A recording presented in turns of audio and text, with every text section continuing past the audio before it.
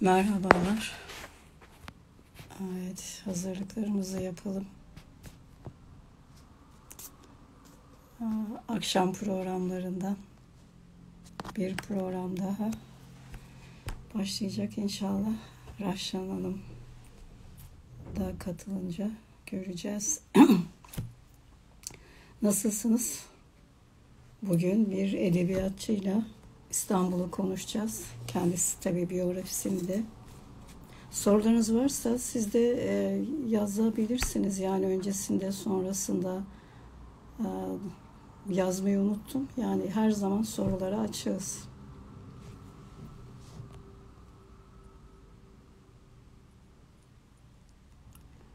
Evet, Rahşan Hanım'ı görüyorum.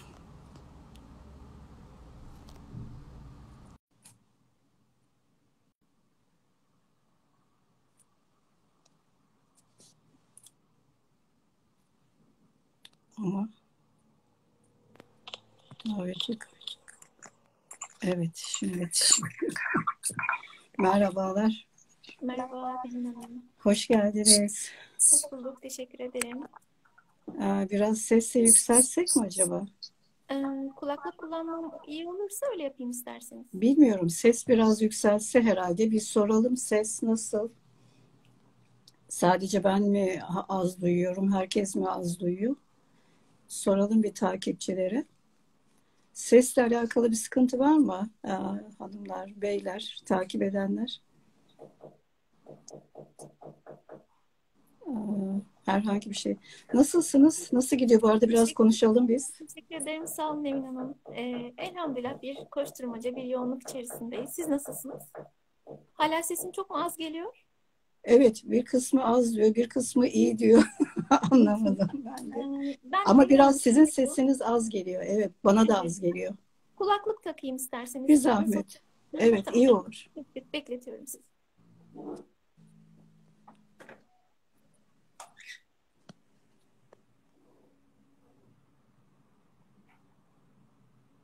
Evet, tabii onları soracağız. Ee, Rahşan Hanım e, kulaklık a, takmaya, almaya gitti. İnşallah ondan sonra biraz daha sesimiz e, güzelleşir diye umuyorum. 41 kere İstanbul'u okudunuz mu? Nasıl buldunuz? Önce ben size de sorayım. Kitabımız böyle bir şey.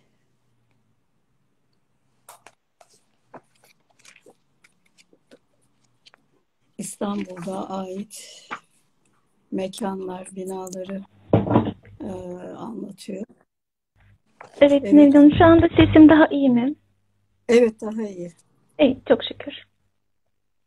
Evet, e, e, şimdi artık başlayabiliriz. E, program ve süreyi e, iyi kullanmak adına. Yorumları da kapatayım. E, yavaş yavaş geliyor e, takipçiler, misafirlerimiz. Son 15 dakikada açarız tekrar. E, öncelikle teşekkür ediyoruz böyle güzel bir kitap için. Ama kitaptan Evet. önce bir sizi tanıyalım. Yani e, Evet. önce bir tanıyalım da sonra e, yazarıyla kitabın ilişkisini daha rahat kurarız. Evet. Ve bir de Türkiye'nin e, büyük e, olaylarıyla alakalı olarak da kendi kişisel tarihinizle Türkiye tarihini bir araya getirerek bir biyografi bize sunarsanız. Hı hı. Buyurun. Öncelikle ben e, hem buraya davet ettiğiniz, salı sohbetlerine davet ettiğiniz için teşekkür ediyorum. E, bir kıymetli bir programı kaçırmışım. Siz e, benimle irtibata geçtikten sonra e, birbirinden kıymetli insanları davet ettiğinizi ve o silsilede yer verdiğinizi gördüm. E, bana onur verdi. Çok teşekkür ederim. E, aynı zamanda bir şey için daha teşekkür etmek istiyorum. E, benimle haftalar önce irtibata geçtiniz. Yani iki gün önce, üç gün önce değil. Bu sizin çalışma disiplininize bir işarettir. E, Evet. biliyorsunuz e, yaş ilerledikçe e, meşguliyetler artıyor ve işler katlanarak büyüyor. Dolayısıyla tırnak içinde spontan programlar e, aslında bize zarar veriyor. E, ilişkide olduğumuz insanların disiplini, titizliği aslında takdire şayan. Bunun altını çizmek isterim. Çok teşekkür ederim. Teşekkür- ederim. Evet ben de yani e, kendime titizlik gösteriyorum ama davetlilerim de sağ olsunlar onlar da çok titizler. O yüzden programlar elhamdülillah teknik hata dışında aksamadan kişisel Çok güzel, devam ediyor. Ben de teşekkür ediyorum. Ee, edebiyatçı nezaketi başlar başlamaz olaylara bakış açısı. Elhamdülillah maşallah. Evet sizi bir tanıyalım. Evet. Buyurun başlayalım. E, klasik bir biyografi olmasın. Şurada doğdum, şu tarihte doğdum demeyelim ama söyleyeceğim şeyler e, kendi içerisinde onları da ortaya çıkartmış olsun. E, 1977 yılında Kanlı 1 Mayıs diye bir e, olay vardır bilirsiniz. Evet. E, evet, annem o zaman 9 aylık hamileymiş e, bana. E, orada Taksim olaylarında birçok insan öldürülmüş, e, yaralanmış ve tutuklanmış. Tutuklananlar arasında benim babam da var. Hmm. Fakat bunun altyapısı hani e, ciddi bir fikri birikime sahip olması e, ya da işte bir ideolojiye sıkı sıkı savunması değil. Aslında işte köyden gelmiş, Anadolu'dan gelmiş Oradan ve bir akıma kapılmış. Öyle mi yani? Yok Oradan geçiyordum değil. Oraya bilerek kasti olarak gitmiş ama e, tutunacağı bir şey yok. Biraz dolduruş, biraz işte o hareket. yani akışa kapılmak diyelim. E, üç gün kendisinin haberi alınamamış. Şimdiki bir irtibat da yok ve annem işte büyükleriyle işte akrabalarımızdan birkaç kişiyle e, morglara kadar gidip e, eşini aramış. bir de Üç gün sonra babam hamile, hamile son ay. Evet karnında da ben varım. Son e, işte günleri. Sonra babam e, üç gün geçtikten sonra eve gelmiş fakat her tarafı yara bere içerisinde biraz hırpalamışlar. Ve o babamın e, annemin söylemesine göre akıllandığı zaman miladıdır der. demek ki işte senin doğduğun sene her şey güzelleşmeye başladı diye böyle bir e, yani benimle alakası yok ama hani o bir ders olmuş zannedersem. Bir şey Fakat bütün bunlar tabii Tabii ki. Tam ben konuyla da alakalı. E, Rahşan isminizle de bağlantı kurmak istemiştim. Evet. Yani Rahşan isminizin evet. Hikayesi var mı derken belki de herhalde buradan geliyor gibi de geldi bana. Aynen. Şimdi şimdi onu söyleyecektim ben de. Aslında zihnimdeki o akış oraya gidiyordu. E, 1974'te Kıbrıs Harekatı olmuş e, biliyorsunuz. Ve işte her dönemin bir e, siyasi liderinin e, popüler olması, popüler iyi bir kelime olmadı ama olması gibi o dönemde Bülent Ecevit Karaoğlan e, lakabıyla çok sevilmiş. E, rahmetli babam da e, onu sevenlerden birisi. Evet. İşte Hak Hak e, içerisinde onu sevenlerden birisi. E, zaten 3 yıl sonra da ben doğduğum için hala o heyecan ve muhabbet devam ediyor. Erkek olursa Bülent, kız olursa Rahşan koyacağım demiş. Biliyorsunuz Bülent Ecevit'in hanımı Rahşan evet. Ecevit'tir. İki önemli şahs, siyasi şahs. Evet. Dolayısıyla adımın öyle bir siyasi arka planı var. E, fakat e, hani fikri açıdan asla bize tesir etmiş bir şey yok. En azından bana yok. Babamı da e, benim e, bildiğim ve tanıdığım zamanlarda o düşüncelere ait hiçbir e, kırıntısı yoktu. Evet, olsun. Yani özel evet, yani, bir isim. Ee, Ravşan evet. ismi çok bilinen ve bulunan bir isim değil. O yüzden hemen ilk önce o aklıma geldi.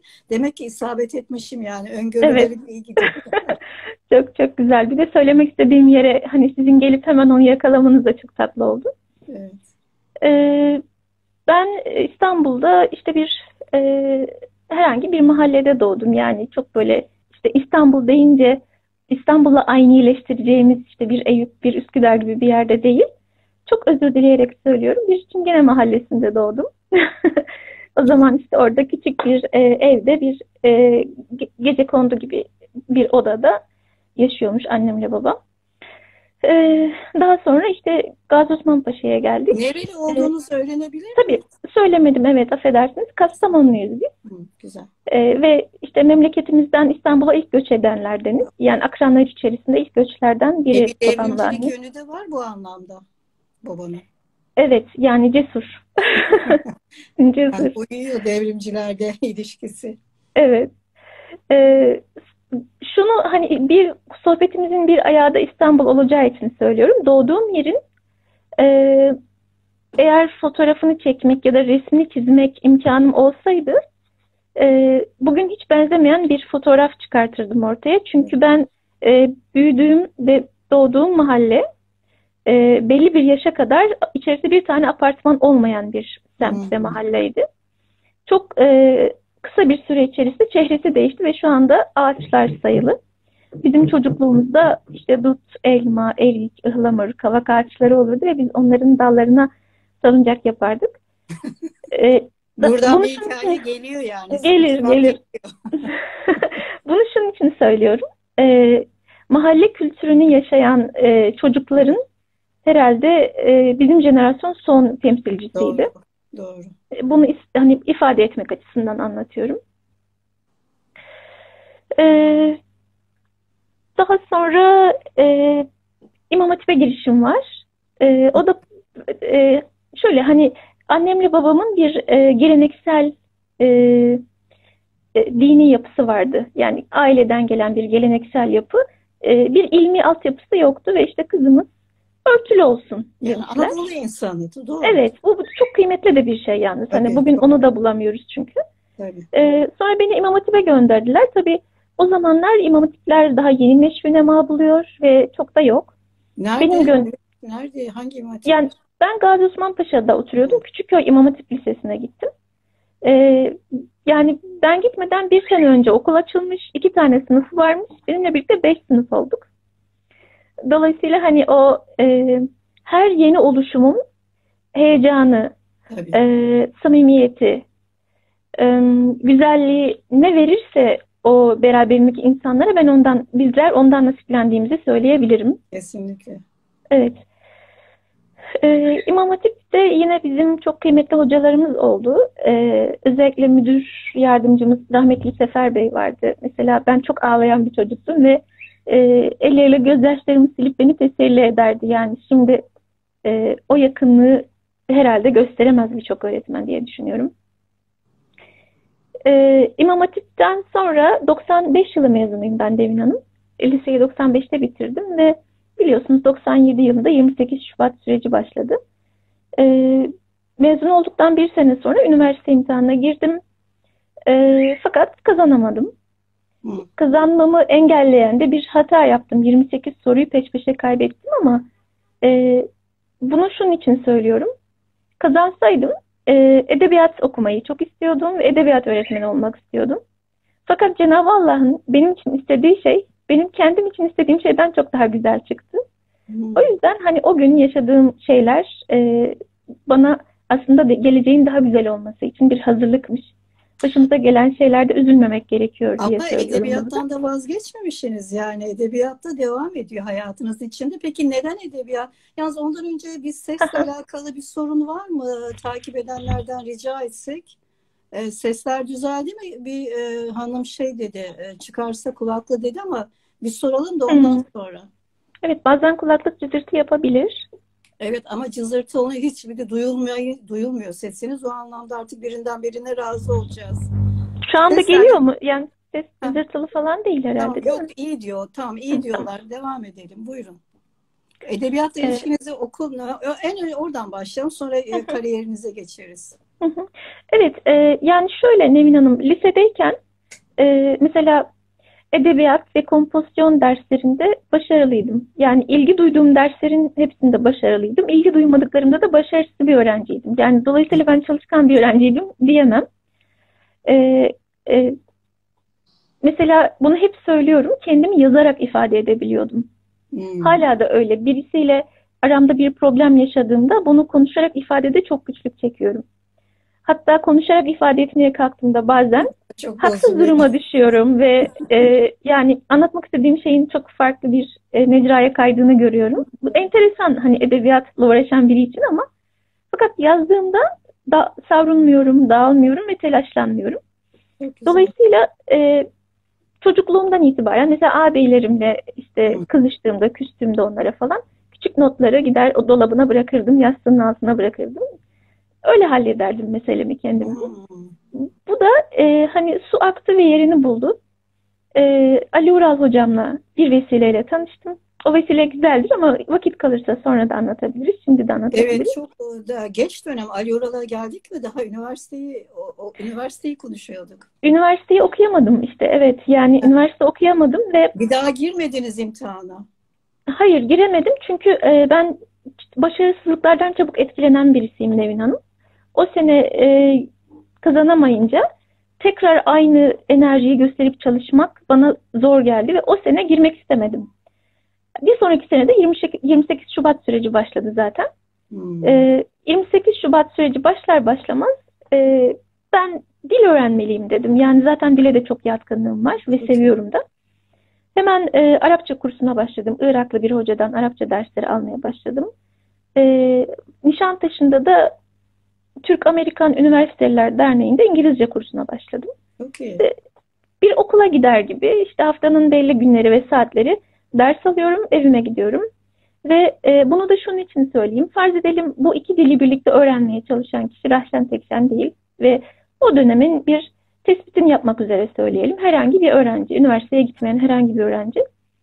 E, öğrenme aşkı var. E, öğrendiği her kaliteli bilgi sanki susuz kalmış da su içtiğinde oh dermiş gibi onu ferahlatıyor. E, geceleri oturuyor ve çalışmaktan keyif alıyor, acayip keyif alıyor. Sonra e, Arapçadan İngilizce, İngilizceden Arapçaya sözlükler hazırlıyor. Sahaflarda gidip kitaplar keşfediyor. Yani Ama ben... şey de çok önemli ya ailenizin sizi desteklemesi. Mesela okula gitmiyorsun ne yapacaksın dile diyebilirlerdi. Öyle bir bakış açısı yok.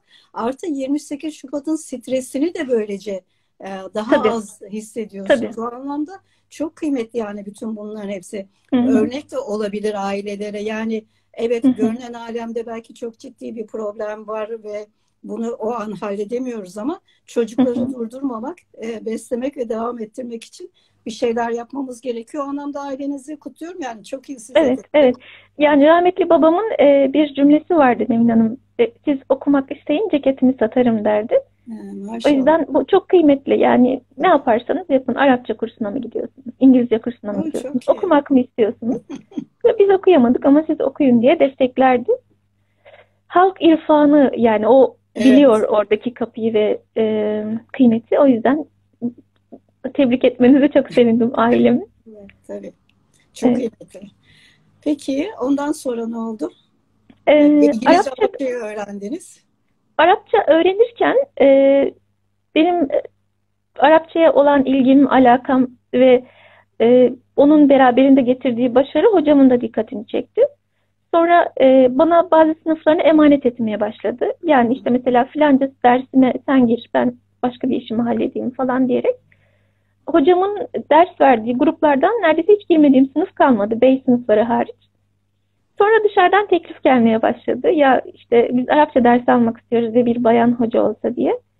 Sonrasında Cenab-ı Hak öyle bir takdir etti ki yani hiç ilan vermeden, duyuru yapmadan 7 sene boyunca kendi evimde gruplara dersler verdim. 10'ar kişilik gruplardı bunlar. Ee, tabii ki siz de çok iyi bilirsiniz e, öğretmek aslında öğrenmenin ta kendisi. Tabii, çok büyük bir imkan. Asıl o zaman öğrendim. Çünkü öğretirken neler bilmediğimi fark ettim ve sürekli araştırma halindeydim. Sürekli evet. kitaplar okuyorum, kitaplar satın alıyorum. Tabii. Mesela bugün hala net yazıda Arapça dersleri veriyorum ve öğrencilere tavsiye ettiğim bütün kitaplar ve sözlükler benim kendi keşfettiğim kitaplardır.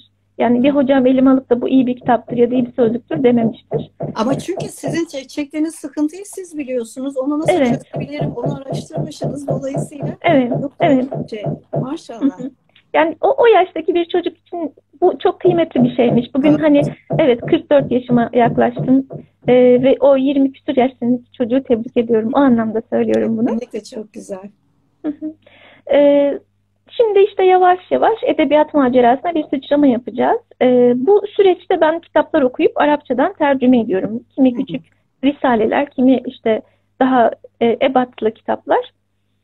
Ee, Necip Gilani'nin Katilü Hamza adlı bir romanını Arapçadan Türkçe'ye tercüme ettim. Yayınlamak için değil, tamamen öğrenmek için. Tercüme de çünkü insanı geliştiren evet, bir şey.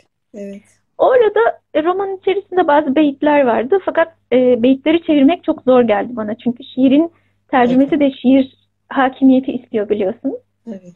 E, bir arkadaşım vardı. Şu anda bir üniversitede çok ciddi bir e, kariyere sahip olmuş. O zamanlar öğrenci.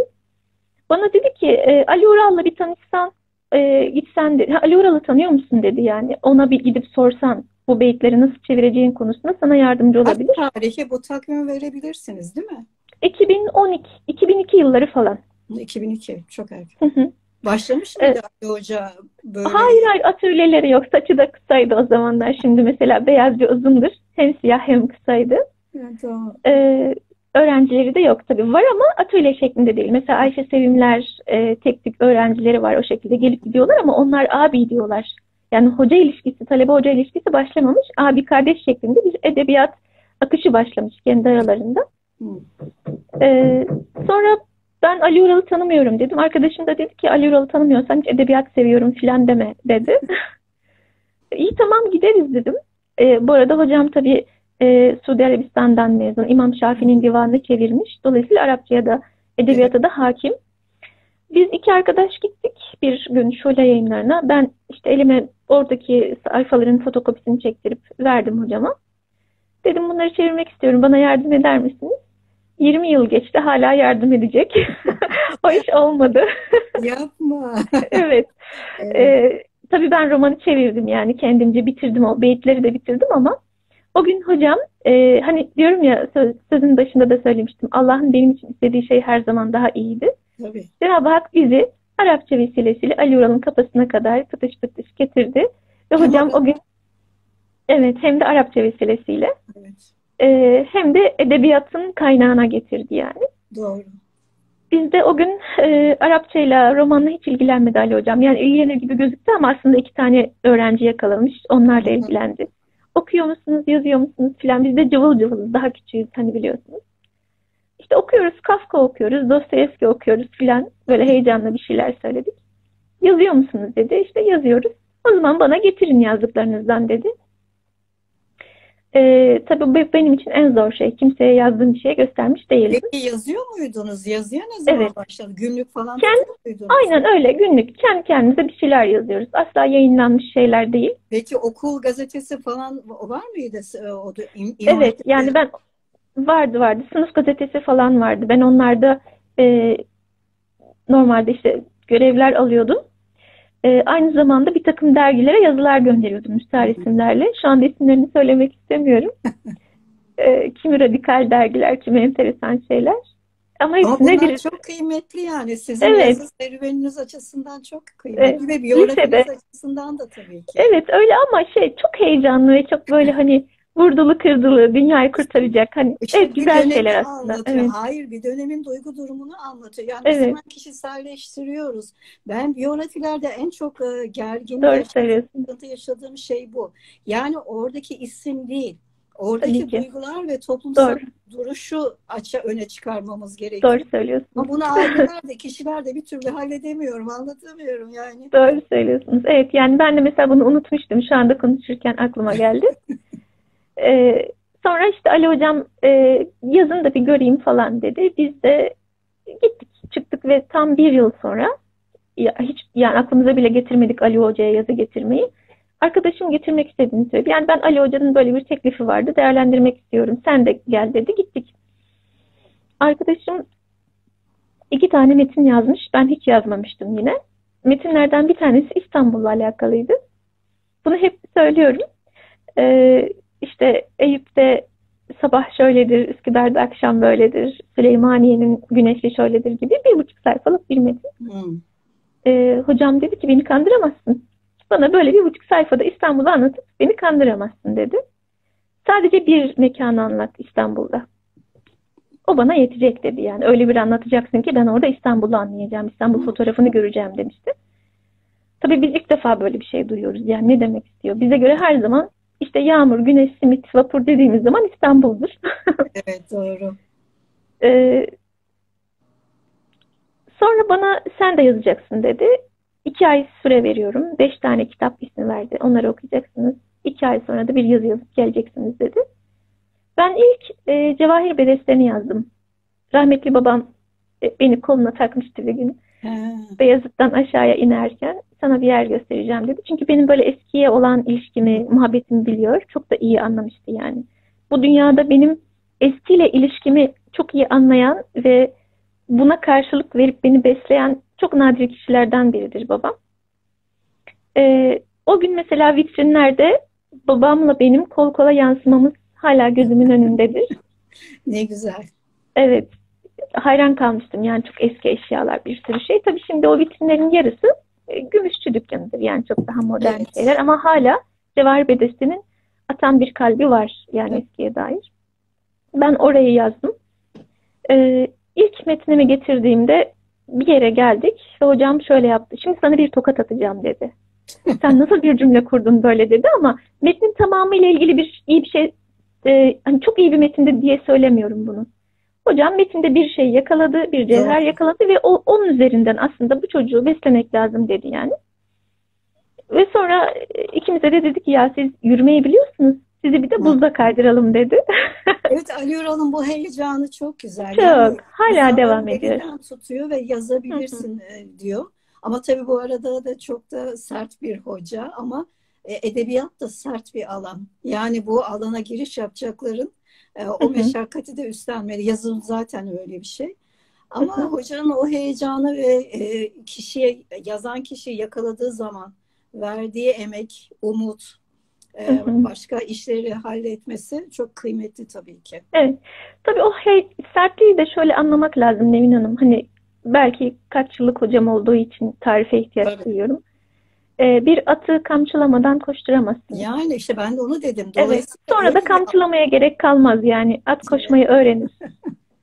Aynen Onun öyle. gibi- O yüzden yani ona sabretmeyen, o meşakkati göze almayan, o, o- bu ahada yer alması çok zor yani. Çünkü bir sürü meşakkatleri var. Yani Aynen sizin öyle. İstanbul kitabında da daha konuşacağız evet.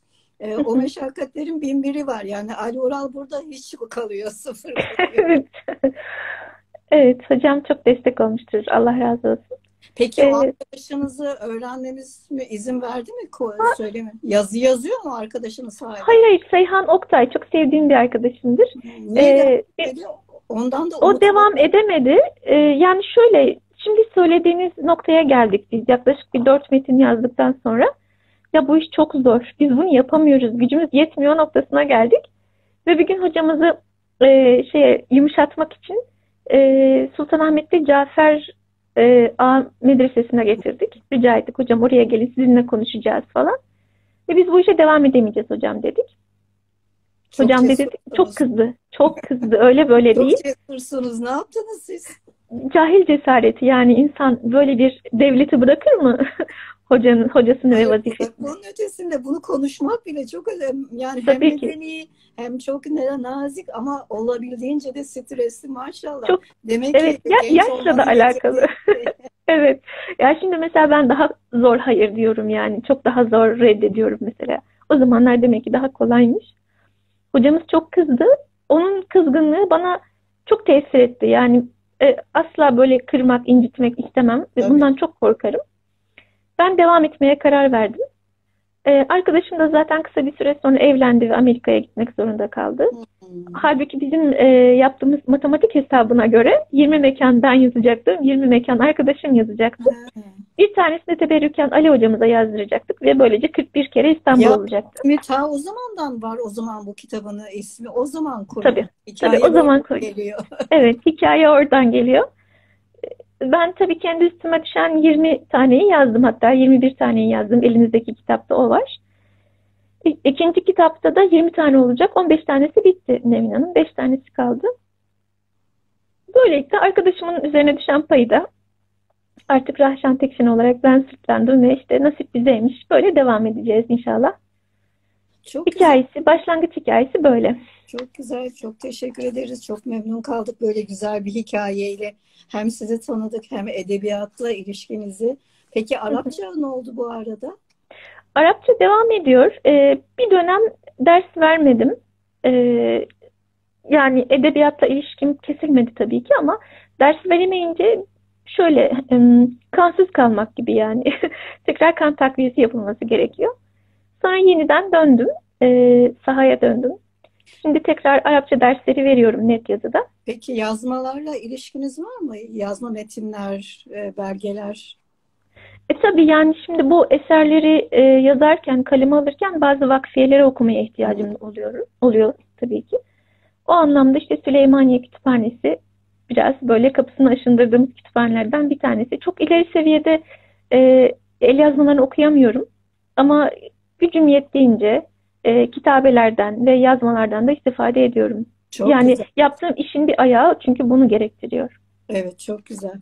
Yani e, e, 41 kere İstanbul'da zaten e, beni en çok etkileyen ve e, İstanbul'un bu şekilde e, for, yeniden düzenlenmesi ya daha doğrusu şehirler için kentin kente ait objelerin mimari yapı olabilir vesaire e, tarihle birlikte işte tarihi metnin bizzatihi kendisinde koyarak yazmalarda Hı hı. mesela cümleler e, deyişler e, o, o anı şeyi de koruyarak akan bir metin çok çok e, ultra bir şey olmuş. ultra da Teşekkür ederim. Yapılmadı ama gerçekten e, ne kadar çünkü benim hep istediğim bir şey ya bu yazmalarda bir sürü bir şey var bu belgelerde hayat var başka şeyler anlatılıyor ve bunun çünkü edebi formu şu anlamda önemsiyorum yani edebiyat ve sanata aktarılmayan hiçbir bilginin toplumsal alanda kalıcılığı ve sürekliliği yok. Öyle. Hı hı. Yani biz bir süreklilik istiyorsak bunu edebi forma dönüştürmek zorundayız. Evet. Dolayısıyla edebiyatçıların bir bura aralanma e, daha çok eğilmeleri lazım. Sizi burada görünce e, maşallah yani buna kolay da bir şey değil tabii ki çok zor. Teşekkür ederim. Ee, öncelikle kitaba geçersek e, yani İstanbul tabii birçok şekilde anlatılabilir. Yani ki anlatılıyor da zaten. E, bana ilginç gelen e, hep büyüklerin e, şehri İstanbul. Yani siyasette büyük adamlar, tasavvufta büyük mutasavvıflar, e, binalarda e, mücessem binalar vesaire. Ama siz başlıyorsunuz bir şeyle, e, e, çeşmeyle, Sebil'le, Sebil'le başlıyorsunuz. Yani Evet. burada bir de e, e, şeyde kitapta çok ince nükteler var. Yani öyle bir espriler konuyor ki o anlamda keyifli de yani birçok anlamda keyifli de o nüktelerle sanki bu e, tabii ben e, Sebil'le haddim değil estağfurullah yani o Estağfurullah. küçük görmüyorum ama neden istediğimi. başladınız onu merak o hikayeyi merak ettim. Yani özellikle Sebil'le başlamasının bir hikayesi yok ama e, sizin bahsettiğiniz o koca koca isimlerin, işte sadrazamların, sultanların e, yapılarıyla biliyoruz İstanbul'u. Evet. Fakat bilinmeyen bir İstanbul'un bilinmeyen bir tarafı var. Yani İstanbul aslında bizim zannettiğimizden daha zengin. Bunu ifade etmek için aslında bilmediğimiz mekanları da koymak icap etti oraya. Mesela e, Ayasofya Camii deyince herkes bilir, Sultanahmet Camii'ni herkes bilir, Kapalı Çarşı'yı da bilir. Ama Atif Efendi Kütüphanesi deyince e, Evet. çok az insan bilir. Evet. Bir Yusuf Paşa Sebili deyince çok az insan bilir. Evet. Evet. Hatta Sebil deyince onun ne olduğunu çok az insan bilir. Evet. Dolayısıyla bir anlamda İstanbul'un e, ne kadar onların içini açmak lazımdı yani. O genişliği göstermek Bu gerekiyor. sizin tercihiniz miydi bu başlık? Benim tercihim, evet. Çünkü şöyle, e, İstanbul'da mimari yapılara baktığımızda birçok çeşit görüyoruz. İşte cami var, han var, kervansaray var, çarşı var, sebil var dediğiniz gibi. E, 10 tane cami koyarsam kitabın bir cami kitabına dönüşme ihtimali var. Fakat ben öyle bir şey yapmak istemiyorum. Tabii. Her mekandan bir çeşni koymak ve her kültüre ait bir şeyi oraya yerleştirmek icap ediyordu. O yüzden oradaki çeşitlilik bununla alakalı. O zenginliği göstermekle alakalı. Ha bir de mütevaziliği de. Ya o kadar mega mega şeyler var ki bir mütevazi su, e, berrak, Evet, temizlik ve tabii hayatla da ilişkisi var derken kesinlikle buradan da öyle. başka bir hikaye çıkıyor. Biz Çıkar. Hatta o ilk paragraf da e, çok beni etkiledi.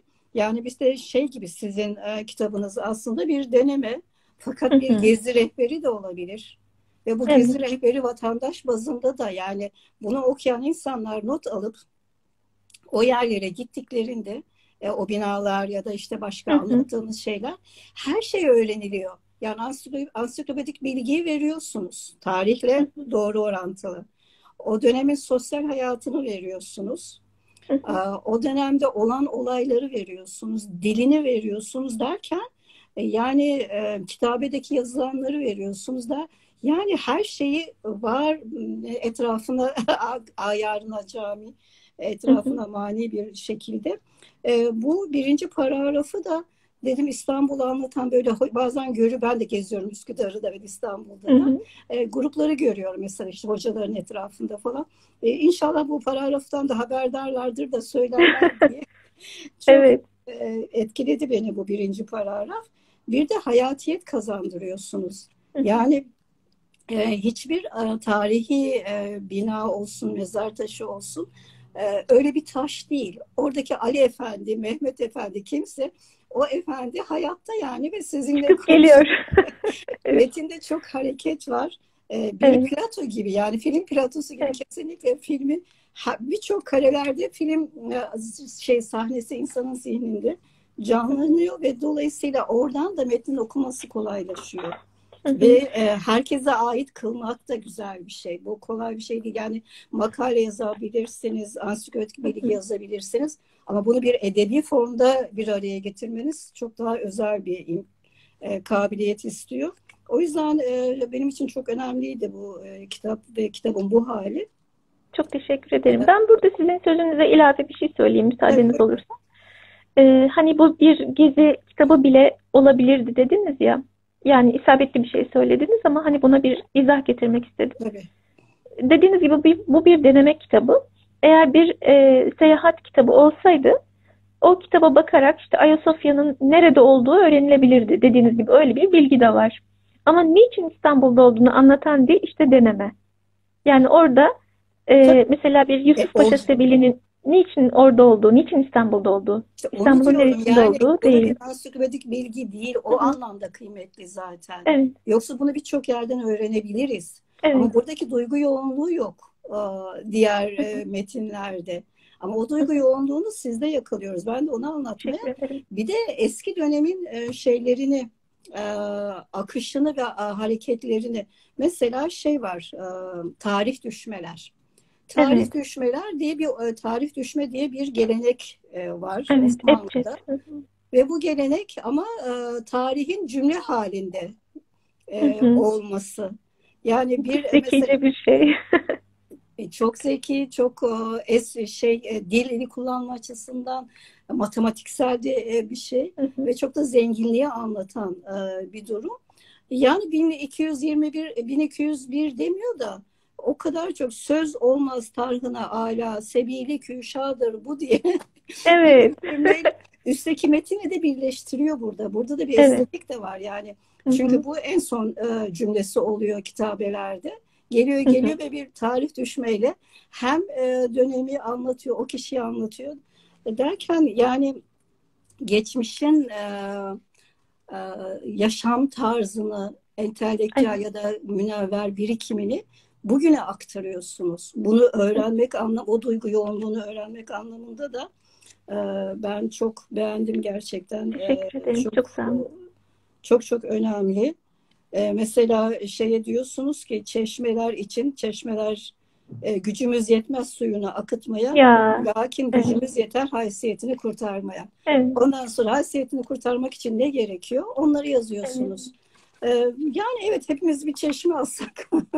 Belki bir de orada daha bir sürü bir sürü şeyler. Onların hepsini tabii ki bu e, kısa vakitte okumam, söylemem mümkün değil. Ee, e, gerçekten o kadar hor kullanımlar var ki bu hor kullanımların içinde e, oradaki güzelliği dışarı çıkarmak doğrusu önemli. E, bu anlamda da sizi yine tekrar tekrar tebrik ediyorum. Çok teşekkür ederim. Çok sağ olun. Ee, siz e, peki böyle bir yazım tarzını e, size aktaran, anlatan ya da zihninizde ışık uyandıran bir tarz var mı hiç sizi besleyen böyle bir okuma? Öncesinde? Yani e, evet, biz e, liseden beri oku okuyorum. Birçok bir, e, çeşitli kitaplar okudum. Okumanın getirdiği bir e, yazı disiplini var. Bunu bilirsiniz Nevin Hanım. Hı hı. Dolayısıyla hani e, sözü söylemek çok da e, zor olmuyor. Fakat işi buraya getirmek yani işte İstanbul kitabını çıkartacağımız zaman herkes gibi söylememek gerekiyordu. Yani işte, işte mesela yani böyle evet. görmediğim için yani sizden daha önceden böyle bir şey var mı? Ee, bunu bilgi anlamada da bilmiyorum. Bunu katan şey bir kere e, Ali hocamın eğitimleri oldu. Hmm. Yani mesela e, Kapalı Çarşı, şey Cevahir Bedesten'i yazdığım ilk metinde bana dedi ki e, gibi kelimesini kullanmıştım. Gibiyi kullanmadan bir benzet bakalım dedi. Ana rahmindeki çocuk gibi. İşte kapalı Hmm. çarşı. Annesi Cevahir Bedesten onun annesinin rahmindeki çocuk gibi. Tövbe estağfurullah dedim. Gibi kullanmadan insan nasıl benzetir? E işte Ve- rakam, rakamı kullanmadan cümleyi söyle rakam olarak. İşte aynen öyle.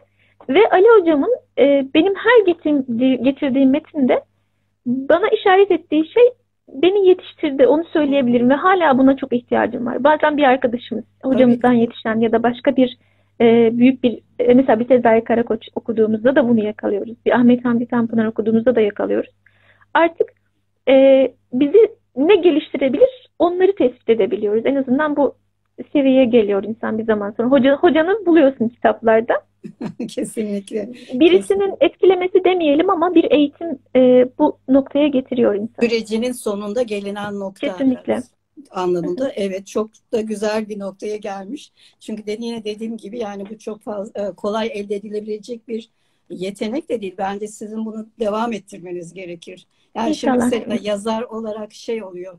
e, Hep aynı tarz yazılmayayım, yazmayayım, yazmayayım deniliyor ama. E, bu tarzı yazan e, yoksa, çok azsa veyahut da e, birkaç metin daha isteriz yani hemen tarz değişikliğine gitmeyin Evet. ihtiyacımız var Evet. dermişim. Mesela şeyi de çok enteresan geldi. Bu e, Selim Ağa, Hacı Selim Ağa Kütüphanesi Üsküdar'da. Ben de Üsküdar'dayım. E, bilenler bilir. Zaten çok bangır bangır da bağırıyorum. E, Sosyal medyada Paylaşımlarınızdan da görüyorum evet. Üsküdar çekimleriyle e, Hacı Selim Ağa Kütüphanesi e, Hacı Selim Ağa köle aslında. Evet. Resul Kıttap e, Mustafa Esat Efendi'nin kölesi. Tabii Resul Evet. Kıttap'ın kölesi olunca da Hacı Selim Ağa kütüphanesinin sahibi olmuş. Evet. Oradan Evet. çok enteresan bir e, yakınlık ortaya çıkmış. Fakat bu Selim Kütüphanesi'nin şeyinde kitabesini şey yazmış. Yesari Mehmet Esat Efendi. Evet. Yesari Mehmet Esat Efendi'yi tanımlarken diyorsunuz ki doğduğu günden beri vücudunun sağ tarafı on, hiç onun olmamıştı. Evet. Yani bu hiç onun olmamıştı. Şimdi bu ne demek? Sağ tarafı Yesari sol elini kullanan sol Evet. elini kullanan bir kişi e, demek ve sol elini kullanan bir kişiyi bu kadar nazik e, ifade edebilmek de edebiyatla mümkün olsa tabii sizin bakış açınızla mümkün olsa e, gerekir. Hatta Yesari e, Mustafa Esat Efendi o kadar bir numara ki e, Müftü Efendi Şeyhülislam diyor ki o dönemin e, Veliyüddin Efendi Cenab-ı Hak bu zatı bizim kibirle kalkan burunlarımızı Ya. kırmak için gönderdi diyor. Evet. Burada döneminde bu birinci tap diyoruz ya şimdi kişilerin e, hem e, birbirlerine yaklaşımları hem Aynen duygusal duruşları hem de sizin anlatımınız e, ve bir de e, Allah'ın hikmeti yani sol Evet. elle bir numara Evet. olabiliyor bir insan. Evet. Değil mi? Biz hiç Evet. ya solak deriz. Halbuki sol Evet. elle bir numara oluyor. Ya bundan daha ötesi yoktur Evet. herhalde diye çok böyle e, keyifli ve güle güle e, gülmüştüm yani. E, Bir de orada hı, buyurun. sözünüzü mü kesiyorum? Yok yok lütfen. Ee. Yani hani yazmaya dair hevesi olacak olanlar ya da yazmak için bir ipucu arayan insanlara mesela işaret ettiniz diye söylüyorum. Orada solaktı demek bir edebi Tabii. değer taşımaz. Ama Bir sürekli edebiyat yani. yapmak da değil yani kastettiğim şey. Ha, yok. Nezaketli bir dil diyoruz ya nezaketli Evet. bir dil. Özgün, size ait bir şey olmak zorunda yani. Kesinlikle Ali Hocam- çok kıymetli bir şey. Biz mesela ilk zamanlar öyle anlamıştık. Sürekli sanatlı söylemek galiba. Ha, her cümlede bir sanat yapıyoruz. Hocam demişti ki edebiyat e, altın edebiyat sarayı altınlardan oluşmaz, tuğlalardan oluşur demişti.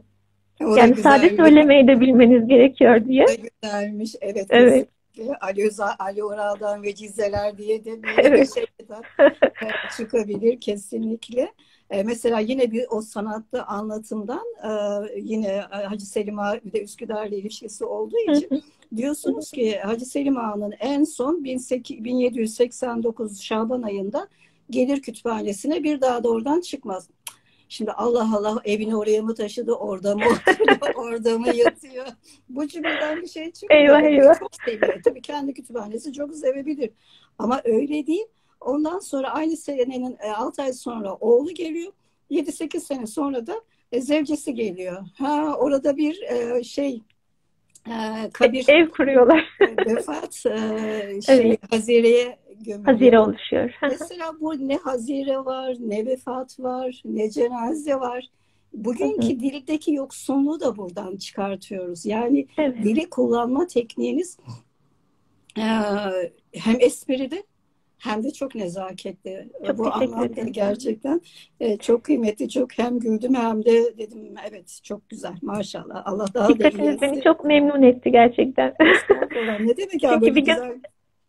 Ee, 41 kere İstanbul hakkında bir yazı yazılmıştı. Rahşan Tekşen 41 tane mekanı anlatıyor demiş.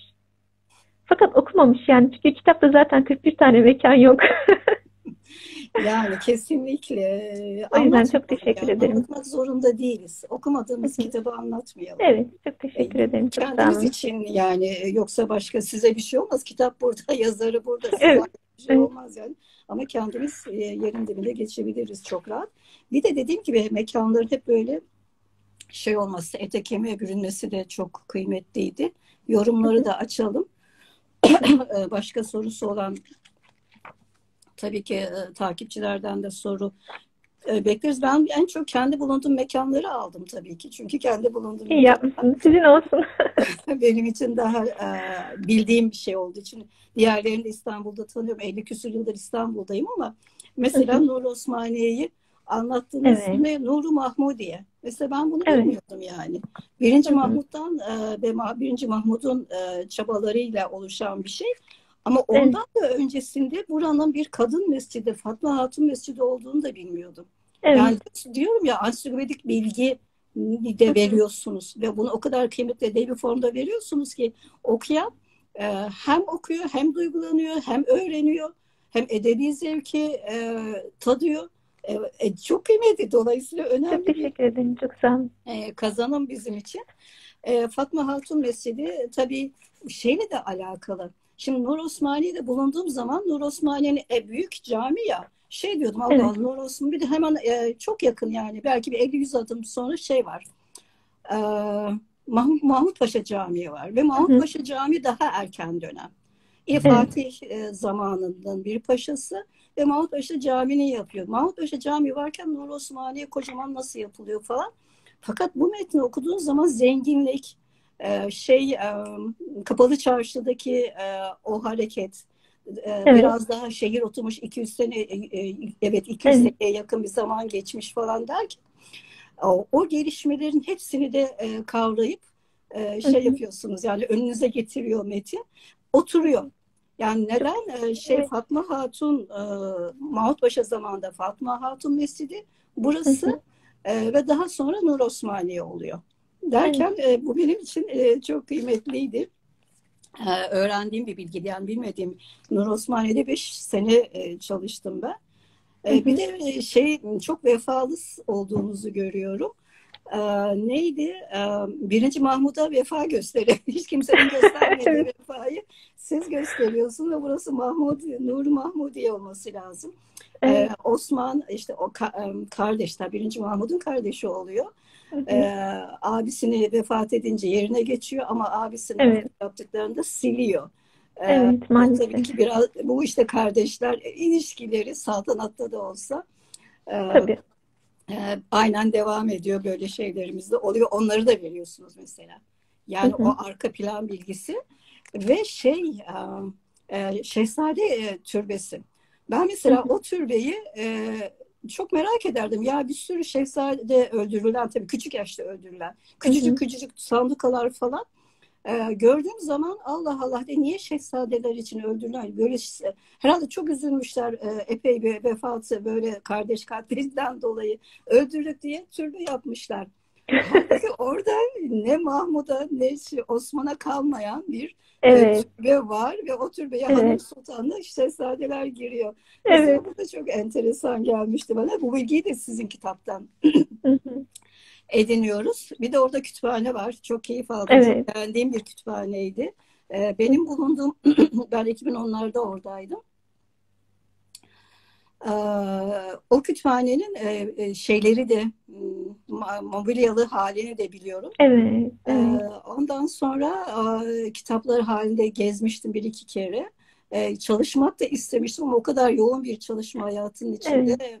Bir de yanımda da kimse yok tabii ki. Yine biri sürten, dürten olsaydı gidilebilirdi evet. diye düşünüyorum. Fazla değerlendiremedik. Şimdi onların hepsi Süleymaniye'ye bütün yardım ettiler. Süleymaniye'ye nakledildi.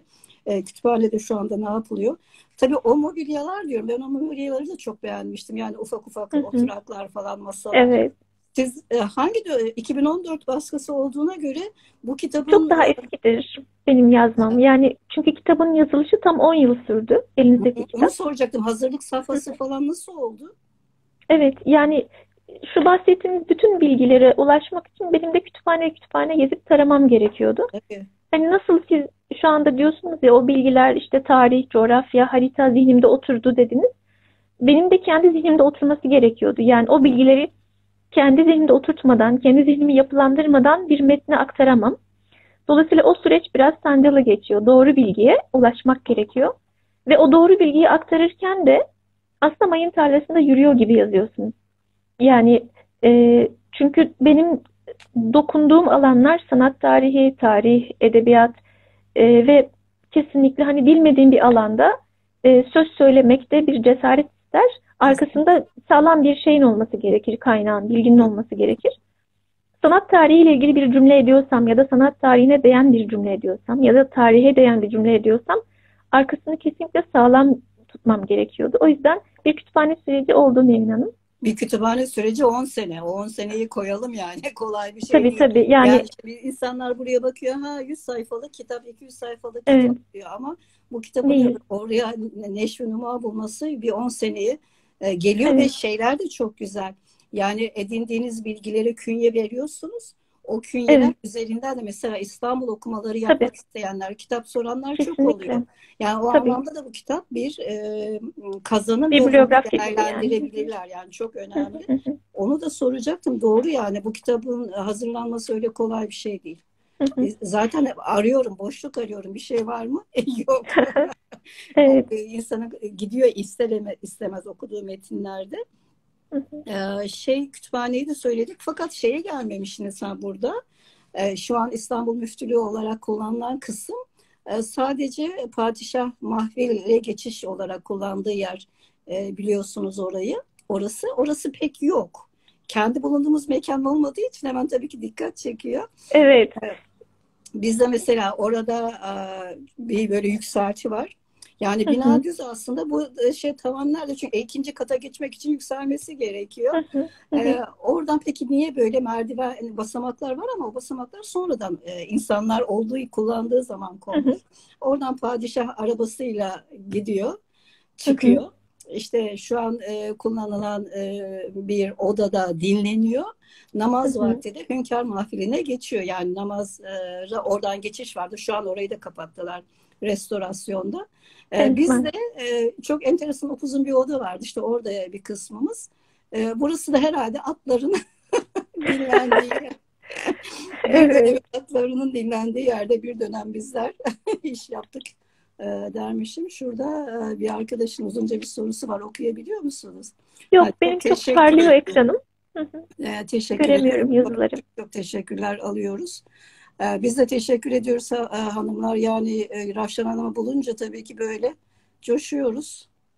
Ee, edebiyat buluşması gibi kitap analizi falan gibi etkinliği var mı Rafşan Hanım'ın? Var mı Rafşan Hanım? Yok, hayır yok. Kitap analizi yapmıyor, yazıyor. analizi ben yapıyorum. evet. Ay, söyleyecek çok sözüm var ama kelimeler yetmez. Teşekkür ediyoruz. E, kitabı almaya niyetleniyormuş bir arkadaş. Hemen alacak. E, güzel. Rafşan Hanım'ın sohbetlerine katılmak, sizin e, Instagram ya da başka bir canlı program, Arapça dışında performansınız var mı demiş. Şimdi öyle söyleniyor ya, yayınlarınız var mı böyle sohbet yayınlarınız, edebiyat sohbeti veyahut da? Yok, hayır, yok. E, Arapça ve Osmanlıca dersleri veriyorum. Ee, bir sivil toplum kuruluşunda görevliyim. Ee, onun haricinde yazıyorum. Niye Bunlar ya- sadece yazdı bak biraz böyle bir e, cimrilik demeyeceğim çünkü ben sizin kadar tabii zarif kelimeler kullanamıyorum. Edebiyatı kendinize ait kılmışsınız. Onun dışında vatandaşla, ümmetle Arapça ve e, diğer e, Osmanlıca üzerinden bağlantı. Ama edebiyat alanında da e, şey yapabilirsiniz. E, Yani şöyle, e, öyle bir şey denk gelmedi ama yakında bir deneme atölyesi açılacak. Eğer illa bu ana alanda hani bir şey söyletmek istiyorsanız evet, evet, Evet, geliyor. net yazıda inşallah bir deneme atölyesi açılacak. Sadece deneme üzerine 3 aylık bir atölyemiz olacak. Siz, E, bunun için de zaman bekliyoruz. Siz- Evet, siz- benimle birlikte yapılacak. Serkan sizin olacak. Evet. Evet. Bak ne güzel. Raşlan Hanım'ı e, dinlemek isteyenler bu atölyeye e, katılabilir. E, yani bir de şeye bakmıştım ama ona vaktimiz pek kalmadı. E, bugün bizim Pierre Loti diye bildiğimiz Evet, yerin aslında Rabia Kadın Kahvesi olduğunu da evet, ve maalesef bunu da unuttuğumuzu da e, yeniden söyleyelim. E, anlamda yani dediğim gibi bir vefa kitabı da ha- hakkı olana hakkı teslim etmek. Ha bir de şey başka yazmak istediğiniz bir şehir var mı diye e, bir soru var. Ee, şehir yok ama evet yani şu anda zihnimde bir kitap var. Daha doğrusu bir konu ama üç kitap olacak Allah izin verirse. Üç mescidi yazmak istiyorum. İstanbul kitabı biter bitmez. Hmm. Ee, Kabe olacak. Mescid-i Nebevi olacak. Ve Mescid-i Aksa olacak inşallah. Tabii bunların her biri de bir kitap olur. Ve Cenab-ı Hak'tan hakikaten bunları bitirebilmek için ömür istiyorum artık. Tabii. Ayrıca bir e, Hüseyin Kutlu hocamız var. Hattat Hüseyin Kutlu. İsmail Kara hocamızın e, bana tevdi ettiği bir vazife var. Hüseyin Kutlu hocamızın hatıratını yazmakla alakalı. Çok İsmail güzel. hocamız biliyorsunuz çok kıymetli işler hem kendisi yapar hem de organize eder.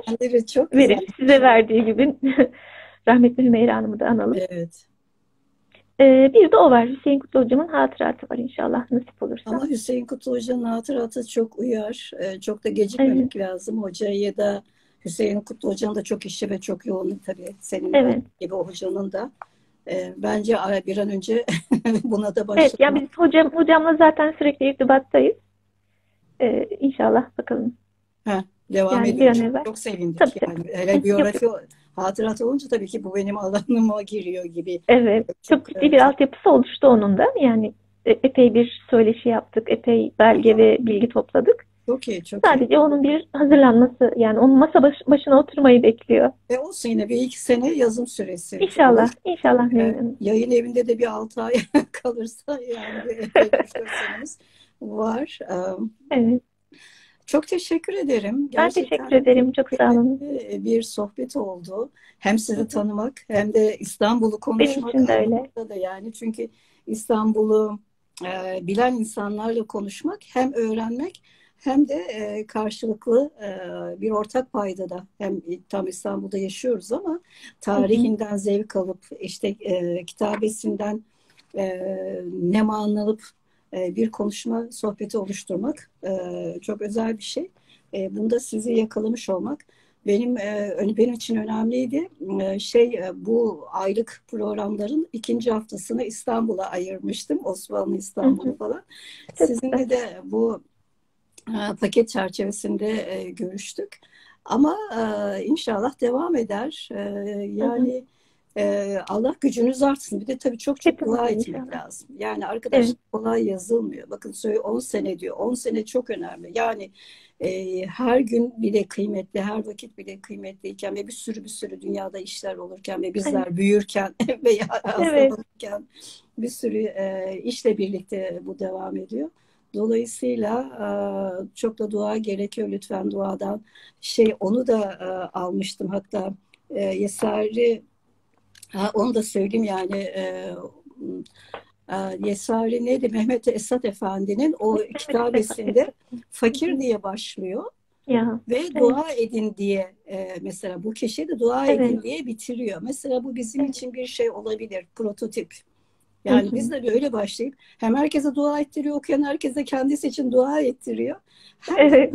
e, süreklilik kazandırıyor. O da bana çok iyi geldi ve Instagram e, şeyini verdi. 50 saniye kalmış hemen kapatayım yoksa Evet. kay- kaydetmeyebilir. Selamlar, hayırlı akşamlar. Allah'a emanet olun. Çok teşekkür ederim. Hoşçakalın. Ben teşekkür ederim.